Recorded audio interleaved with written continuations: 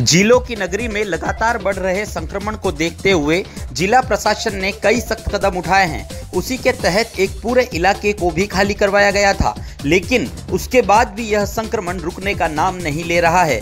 ऐसे में उदयपुर जिला कलेक्टर आनंदी ने शुक्रवार को एक बड़ा निर्णय लेते हुए उदयपुर के कंटेनमेंट जोन व कर्फ्यू एरिया में किसी भी प्रकार की दुकानें नहीं खुलने की बात कही है।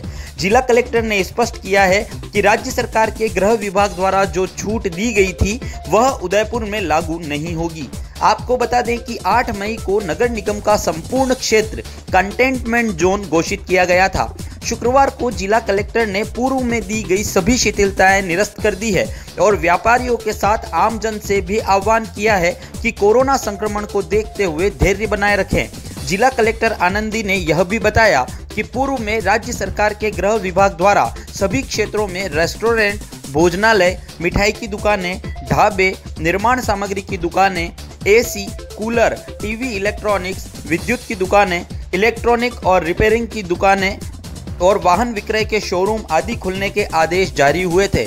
लेकिन झीलों की नगरी में बढ़ते संक्रमण को देखते हुए जिला कलेक्टर ने फिर से सारी शिथिलताएँ निरस्त कर दी है और इसी के साथ आम जन से आह्वान किया है कि धैर्य बनाए रखें और प्रशासन का सहयोग करें।